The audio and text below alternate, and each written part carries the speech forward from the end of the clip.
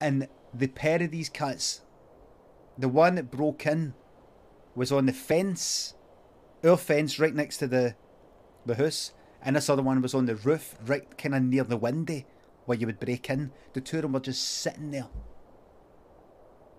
And this is what it looks like.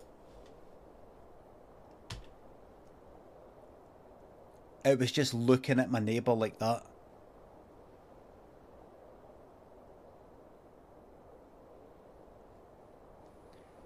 And honestly, uh, I think Lynn's maybe cropped it a wee bit so you can't see her whole fucking house and all the rest of it. But it's like pure long as fuck hair. It's like a fucking goat. Looks like a fucking ram. And see, see there, I don't know if you can get an idea of the scale of it, but when, when you see the picture, you, it's fucking big.